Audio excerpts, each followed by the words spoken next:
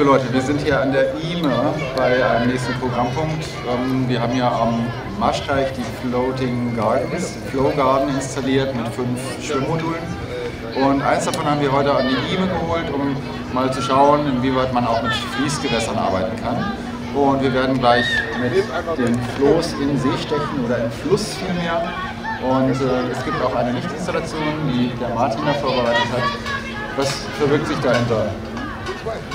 Genau, also diese Lichtinstallation haben wir gestern schon ausgiebig getestet. Wir haben einmal ein LED-Band, was oben rumläuft und wir haben zwei äh, Rot-Grün-Blau-Strahler, die ich nachher anmache. Und äh, das Schöne ist, wir können wirklich mitten auf dem Wasser sein, weil äh, ich habe einen 230 Volt Akku, der uns damit Strom versorgt und wir sind wirklich komplett unabhängig vom Strom. Und das äh, ja, ist natürlich super für so eine Insel geschaffen. Einmal voll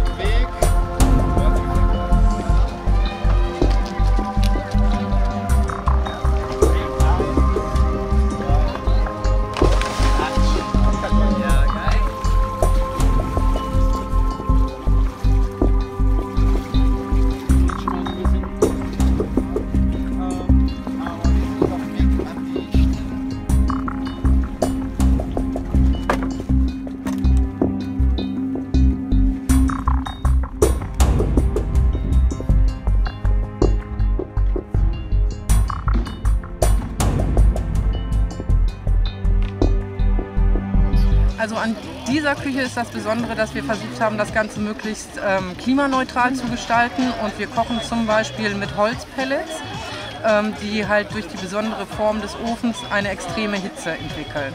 Es ist so, dass äh, wir die Leute halt auch gerne dazu bewegen wollen, selber aktiv zu werden. Und deshalb ist es so, dass wir halt alles vorbereitet haben.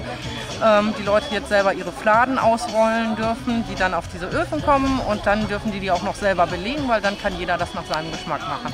Nun wurden in einem jahrelangen Prozess zuvor bis zum September 2015 von wirklich tausenden Wissenschaftlerinnen diese globalen Nachhaltigkeitsziele entwickelt und es haben tatsächlich 193 Mitgliedstaaten der Vereinten Nationen diese globalen Nachhaltigkeitsziele, insgesamt 17, ähm, willkommen geheißen. Und diese 17 Ziele markieren für mich so etwas wie die Landkarte der Weltrettung, weil sie nämlich alle Baustellen und Herausforderungen, ähm, die die Menschheit sich selbst geschaffen hat, in einer Matrix sozusagen versammeln. Kind im Grundschulalter eine kleine Seilbahn gebaut um unsere Essecke herum und das hat mir Spaß gemacht. Und als dann die Gesellschaft für außerordentliche Zusammenarbeit sagte, hey und komm und Ideen, äh, da habe ich den Traum gehabt, ja, wir brauchen eine Seilbahn von der Glocksee aufs Ime-Zentrum bis rüber zur Faust und vielleicht noch weiter. Die erste Seilbahn äh, Hannovers, Stadtseilbahn. Naja, und dann kam es einfach zu der Idee, dann lass uns doch ein kleines Modell hier schon mal bauen. Und es geht darum, äh, Nachrichten zu transportieren, die wir gesammelt haben, die Leute uns geschickt haben, wie man sozusagen Do-it-yourself-Klimaschutz in seiner eigenen Lebensumwelt äh, machen kann.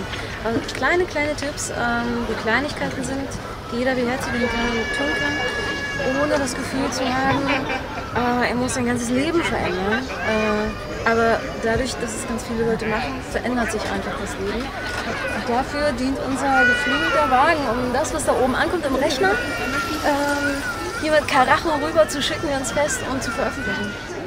Steffi, eine Frage. Ähm, was war in diesem Wagen drin? Hast du schon mal geschafft durchzuschauen? Es wird eine improvisatorische Wundertüte, glaube ich. Also was ich jetzt schon mal gesehen habe, ist ähm, äh, ein, eine, eine Kartensammlung. Und zwar ist die vom Climate Culture Lab. Das Climate Culture Lab ist ein äh, Projekt des Pestel-Instituts gewesen. Dieses Projekt Climate Culture Lab, da geht es genau darum, ein Klimakulturbewusstsein zu entwickeln, also zum Bewusstseinswandel beizutragen, ähm, dass wir Klimaschutz wie selbstverständlich leben. Das Climate Culture Lab ist die letzten drei Jahre durch äh, alle Bundesländer der Republik äh, getourt und hat mit den Kommunen, mit der Zivilgesellschaft, mit Firmen gemeinsam diese Klimakultur-Werkstätten durchgeführt. Und in jeder dieser Städte sind vier bis sieben Ideen entstanden, Projektideen, ähm, die ich illustrieren durfte. Deswegen habe ich diese Karten auch einfach mal so machen können. Und äh, da sind, ich habe jetzt von diesen über 60 Projektideen aus ganz Deutschland 32 äh, Interessantes dann rausgesucht und daraus dieses Kartenset entwickelt. Und dann geht es hier ähm, ganz viel um Lebensmittel, es geht um einen gemeinschaftlich äh, zu bewirtschaftenden Kühlschrank, es geht um Kochaktionen äh, mit Foodsharing, also mit geretteten Lebensmitteln, es geht um das äh, Thema solidarische Landwirtschaft. Es gibt ja hier in Hannover mittlerweile drei Solavis, solidarische Landwirtschaften, und es geht ums Thema Klimadinner. So, dann ähm, habe ich noch zwei einzelne Cluster, einmal Ehrenamtsbörse und äh, den Lose-Laden heißt also einen Laden, ähm, der ohne Verpackung funktioniert.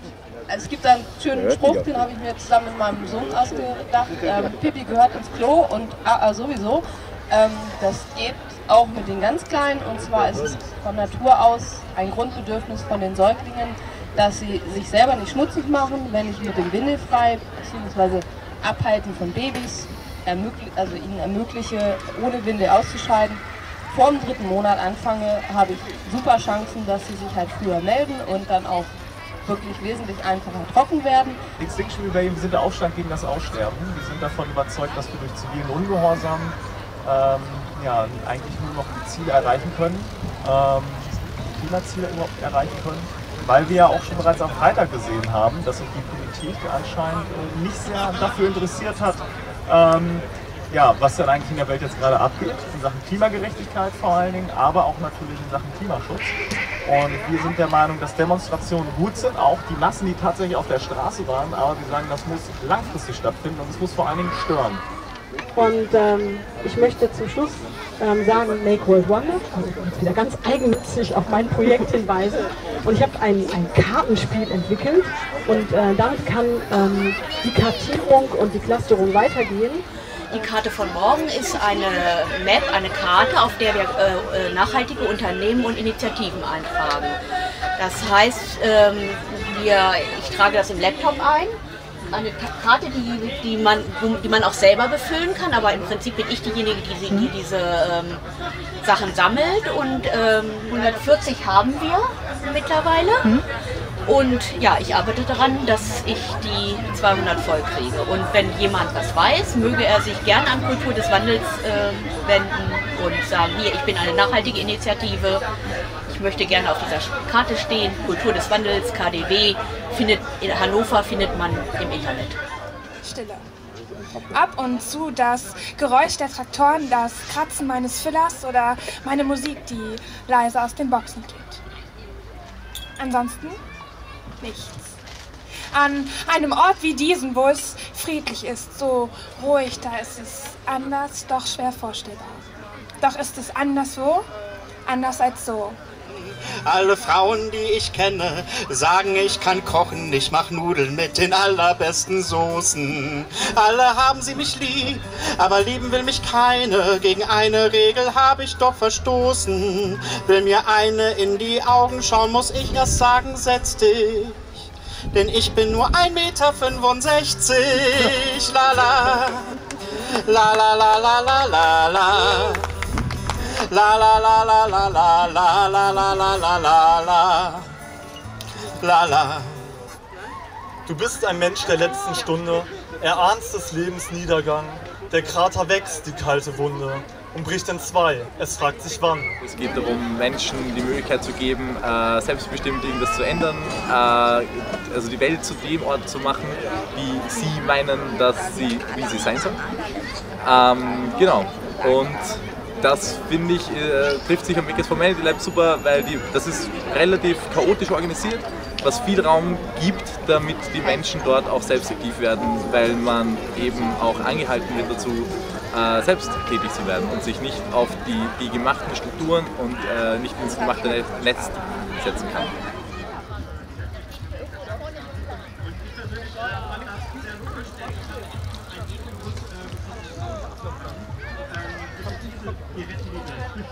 Machen zusammen äh, eine nachhaltige Firma mit und beschäftigen uns mit Upcycling. Äh, Im Moment haben wir das Projekt, dass wir alte Wertstofftonnen, alte Mülltonnen von AHA äh, aufmöbeln und denen ein neues Leben einhauchen. Zum Beispiel ein Hocker, eine Sackkarre draus machen.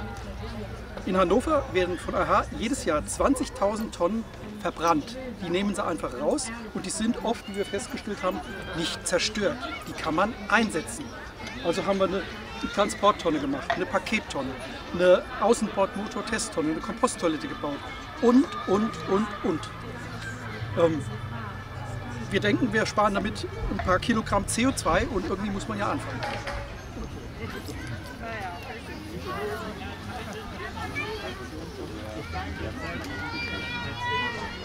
Wir sind ein Verein, der sich letztes Jahr gegründet hat. Wir haben ähm, einen Förderantrag geschrieben beim Bundesministerium für Baustadt und Raumforschung und auch gewonnen, wo es darum geht, nachbarschaftliche Stadtgestaltung oder zivilgesellschaftliche Stadtentwicklung irgendwie zu erforschen auch. Und, ähm, eins der ersten Projekte, was wir hatten, war, also eines der ersten konkreten Produkte, was wir schaffen wollten, war der Raumwagen. Das ist das, was man hier hinter mir sieht. Ähm, das ist ein Interventionsmobil, das wurde entwickelt in Kooperation mit der Fakultät Landschaftsarchitektur und Architektur von der Leibniz-Universität. Und ähm, da dann ein Seminar, also wir haben es geschafft, dass da ein Seminar daraus entsteht. Und äh, in dem Kurs haben 15 Architektinnen ähm, zuerst im ersten Abschnitt das Ding komplett entworfen und im zweiten Abschnitt aufgebaut. Und äh, der ist jetzt seit zwei Monaten etwa einsatzbereit. Es hat noch keine Tücken, die ausgearbeitet werden müssen, aber es ist grundsätzlich bereit und wird äh, als Bühne eingesetzt, kann aber auch als Küche eingesetzt werden, als Werkstatt und so weiter. Ähm, und insgesamt mit der Gesellschaft Plus haben wir aber darüber hinaus noch das Ziel, auch an, einfach Leute zu aktivieren. Und dieser Raumwagen ist eine der Möglichkeiten dazu, weil man einfach sagen kann, ich möchte jetzt eine Aktion starten, stell das Ding hier hin und es geht los.